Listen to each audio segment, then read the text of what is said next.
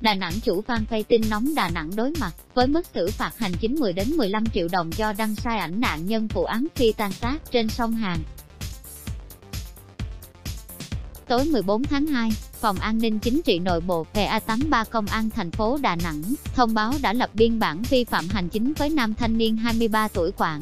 Trị viên Rang Phan Phay tin nóng Đà Nẵng về hành vi cung cấp thông tin sai sự thật trên mạng xã hội liên quan đến vụ án người Trung Quốc đồng hương. Thượng tá Nguyễn Hưng Lợi, Phó trưởng phòng PA83, cho biết người vi phạm bị xử phạt theo Nghị định 174 trên 2013 của Chính phủ. Công an thành phố đang hoàn tất thủ tục ra quyết định xử phạt với mức từ 10 đến 15 triệu đồng. Theo xác minh, ngày 7 tháng 2, quản trị viên fanpage trên đọc được thông tin từ một trang mạng xã hội, không rõ nguồn gốc về Tiêu Quý Bình, 27 tuổi, quốc tịch Trung Quốc, sát hại cô gái đồng hương, kèm hình ảnh một cô gái được cho là nạn nhân.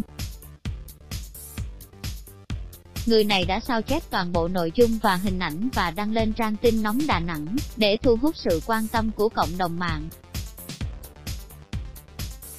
PA83 vào cuộc và làm rõ bức ảnh chân dung trên là một cô gái 20 tuổi, trong khi nạn nhân 30 tuổi, quê ở thị xã Hồng Lĩnh Hà Tĩnh và hiện đang làm việc ở Đài Loan Trung Quốc. Biết bài viết của mình đăng tải không phải là nạn nhân, nam thanh niên đã khóa trang fanpage để trốn tránh trách nhiệm, gây khó khăn cho lực lượng chức năng trong công tác truy tìm, xử lý. Làm việc với công an, Người này cho biết đang là sinh viên một trường đại học trên địa bàn.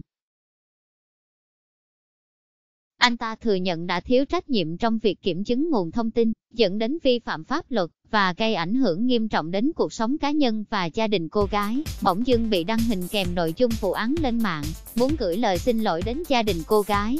Let's block us. Oai.